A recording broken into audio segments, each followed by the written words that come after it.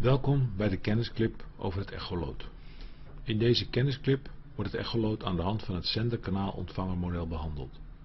Daarnaast wordt aandacht besteed aan de verschillende kwaliteitsparameters van het echoloot. Het echoloot is primair bedoeld om de underkeel clearance of UKC van het schip te meten. Dit is de verticale afstand tussen het vlak van het schip en de zeebodem. De UKC wordt ter plaatse van de antenne van het echoloot gemeten. Het kan zijn dat andere delen van het schip hier nog onder uitsteken.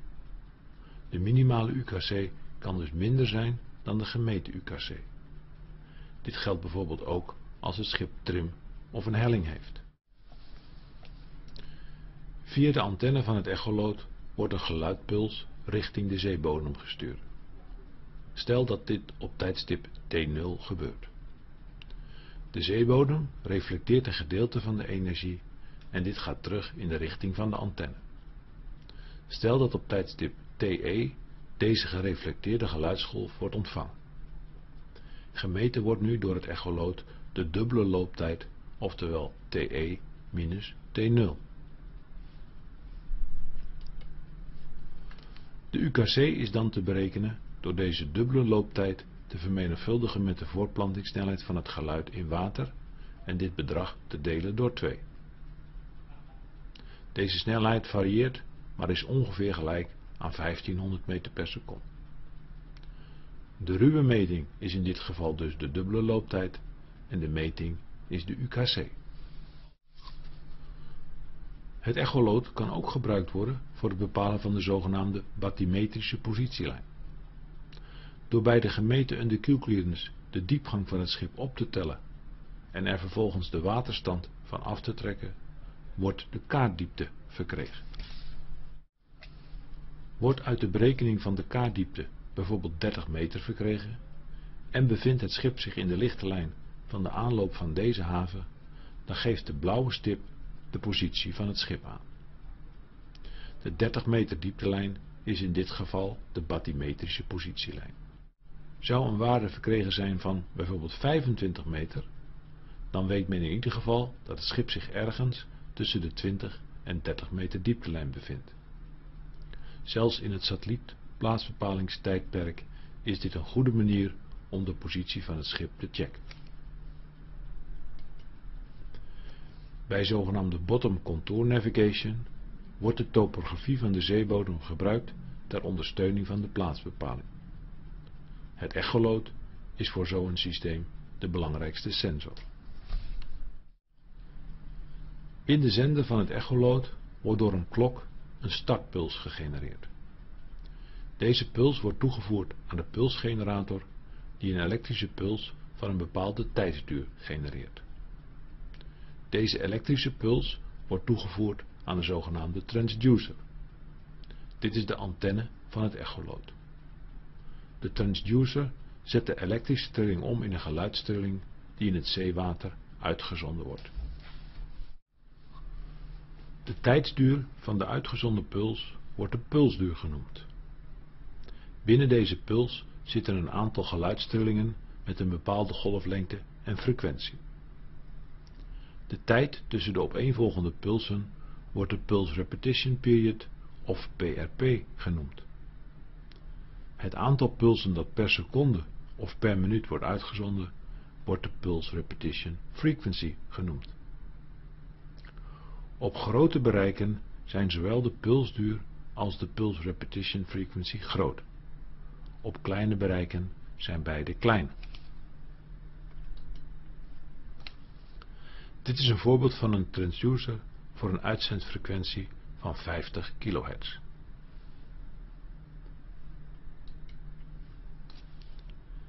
De energie wordt in de vorm van een bundel uitgezonden. Hoe kleiner de bundelhoek, hoe beter de energie geconcentreerd wordt en hoe groter het bereik wordt. Voor de getoonde transducer is de bundelhoek 7 graden. Hoe groter de transducer, hoe kleiner de bundelhoek, maar ook hoe duurder de transducer. De bundelhoek is ook afhankelijk van de frequentie. Hoe hoger de frequentie, hoe kleiner de bundelhoek. In het zeewater wordt de geluidsgolf uitgezonden. Dit is een zogenaamde longitudinale golf. Verdichtingen en verdunningen in het zeewater zorgen voor drukverschillen in het water en dit wordt waargenomen als geluid. De snelheid waarmee dit geluid zich voortplant is ongeveer gelijk aan 1500 meter per seconde.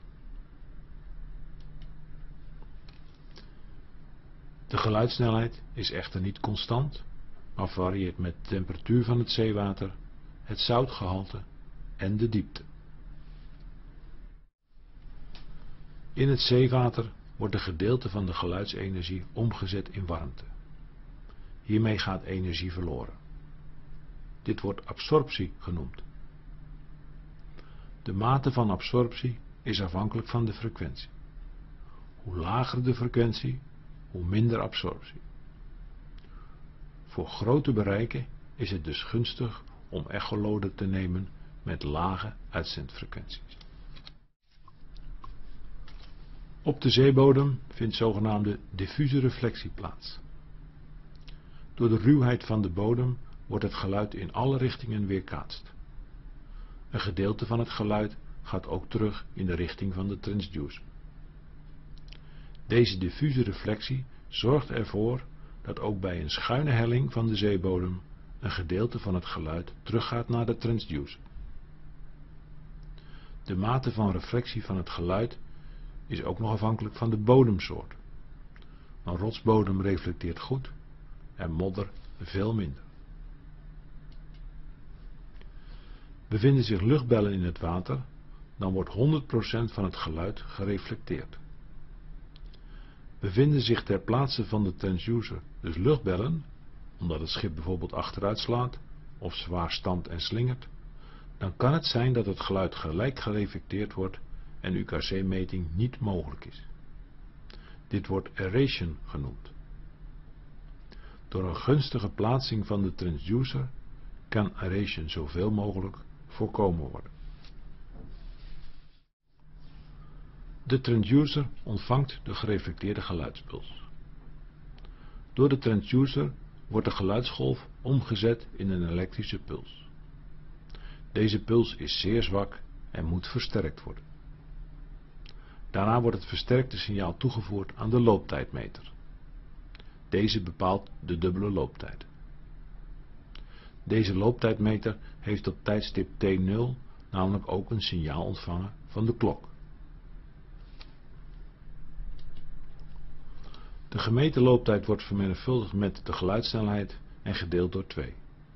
Op het display van het echoloot wordt vervolgens de underkill clearance getoond. Bij sommige echoloden kan de geluidssnelheid C aangepast worden aan veranderende omstandigheden. De versterking van het signaal bestaat in het algemeen uit drie delen. Bij behulp van een gainknop kan de operator het normale versterkingsniveau instellen. Als het signaal lang onderweg is vanwege een grote underkill clearance, dan is het gewenst om het signaal meer te versterken dan het normale niveau. Dit wordt Time Variable Gain of TVG genoemd. Is de diepte klein, dan hoeft het signaal niet zoveel versterkt te worden. Het normale versterkingsniveau wordt dan onderdrukt. Dit wordt Sensitivity Time Control of STC genoemd. TVG en STC kunnen meestal niet direct door de operator ingesteld worden. Wordt het diepteverloop weergegeven op het display, dan wordt gesproken over een echograaf. Bij oude echoloden werd dit verloop ingebrand in een rol speciaal papier. Moderne echoloden hebben een LCD-display. De underkill clearance wordt tegenwoordig ook vaak weergegeven op de ECDIS. Nu behandeld is hoe het echoloot de clearance bepaalt, wordt in het vervolg van deze kennisclip aandacht besteed hoe goed het echoloot deze clearance kan bepalen, oftewel wat de kwaliteit van de meting is. Allereerst wordt hiervoor bekeken welke fouten er op kunnen treden bij de meting. De werkelijke looptijd van het signaal is gelijk aan 2 maal de clearance gedeeld door de werkelijke geluidssnelheid in het water.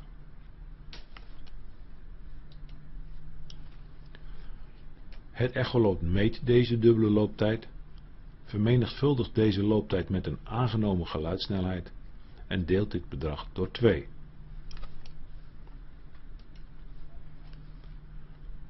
Fouten in de gemeten en de Q-clearance ontstaan nu door fouten in de door het echoloot gebruikte geluidssnelheid en door fouten in de gemeten looptijd. In deze grafiek wordt de fout in under clearance aangegeven als functie van de under clearance. Aangenomen is dat de fout in de geluidssnelheid 50 meter per seconde bedraagt. In de figuur is te zien dat bij toenemende under clearance de fout in under clearance toeneemt. Dit betekent dus dat bij een kleine under clearance de fout in under clearance ook klein is. Bij een under clearance van 5 meter is de fout minder dan 0,2 meter of 20 centimeter. Dit is gunstig omdat we juist bij ondiep water de under clearance zo nauwkeurig mogelijk willen weten. De fout in looptijd ontstaat doordat het moment van zenden van de puls niet exact goed bepaald wordt en doordat het moment van aankomst van de gereflecteerde puls niet goed gemeten wordt. Bij een echoloot dat aan boord voorkomt, zullen deze fouten in het algemeen klein zijn. Indien de door de zeebodem gereflecteerde puls tegen het vlak van het schip weerkaatst en nog een keer naar de zeebodem wordt uitgestuurd, dan ontstaat de zogenaamde meervoudige reflectie. Van één uitgezonden puls worden dan meerdere reflecties ontvangen. Op het display zijn dan verschillende dieptelijnen te zien. De bovenste dieptelijn geeft natuurlijk de correcte underkill aan. De andere reflecties ontstaan feitelijk door een fout in de gemeten looptijd. Bij grote underkill en bij een goed reflecterende zeebodem kan het voorkomen dat de reflectie van de zeebodem de transducer pas bereikt als de volgende geluidspuls alweer uitgezonden is. Het echoloot meet dan de looptijd ten opzichte van de tweede uitgezonden puls, terwijl dit eigenlijk vanaf de eerste uitgezonden puls had moeten gebeuren. De fout in looptijd is in dit geval de pulse repetition period. De underkill clearance die aangegeven wordt is veel kleiner dan de werkelijke underkill clearance. Dit soort reflecties worden second trace echo's genoemd. Second trace echo's kunnen vermeden worden door het ingestelde bereik van het echoloot overeen te laten komen met de underkill clearance in het zeegebied. Second trace echo's leiden soms tot het rapporteren van ondieptes aan de hydrografische dienst die er helemaal niet zijn. Het zou dus kunnen zijn dat deze gerapporteerde diepte van 5 meter in werkelijkheid een second trace echo is. Zolang de hydrografische dienst dit nog niet onderzocht heeft, blijft deze ondiepte in de kaart staan en wordt dus aangenomen dat de ondiepte inderdaad bestaat. In de IMO Performance Standard voor Echo Sounders wordt vermeld dat de toegestane tolerantie van de gemeten underkeel clearance, uitgaande van een voortplantingssnelheid van 1500 meter per seconde, gelijk is aan de getoonde waardes. Er wordt helaas niet vermeld wat het ondiepe en diepe bereik zijn. Bij deze toegestane tolerantie is de fout in de aangenomen geluidssnelheid niet meegenomen. Indien maar één echoloot aanwezig is, dan kunnen blunders in de underkill meting niet gedetecteerd worden. De integriteit is dan dus slecht. Indien de positie van het schip bekend is, kan de aflezing van het echoloot wel vergeleken worden met de kaardiepte. De underkill moet dan natuurlijk wel omgerekend worden naar kaardiepte. Een groot verschil tussen beide waardes kan duiden op een blunder in de gemeten underkill clearance. Omdat voor het zenden en ontvangen van het pulsvormige signaal dezelfde transducer gebruikt wordt, kan de ontvanger pas gaan ontvangen als de gehele puls uitgezonden is.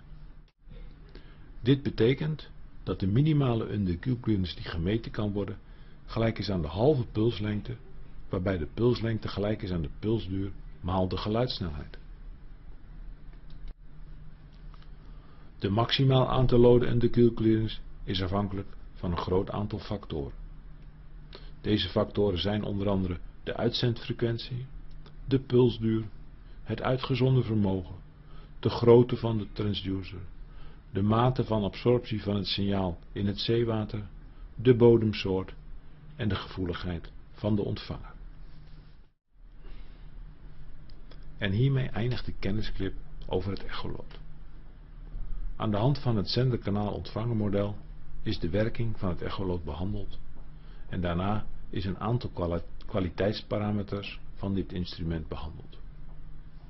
Ook in het huidige tijdperk van satellietplaatsbepaling en elektronische zeekaarten speelt het echoloot nog een belangrijke rol. Dit instrument is het enige instrument dat de daadwerkelijke ruimte onder de kiel aangeeft. Een underkielclearance van 0 betekent echt dat het schip aan de grond zit, wat de ECDIS er verder ook van vindt. Controleer dus regelmatig de aflezing van het echoloot met de informatie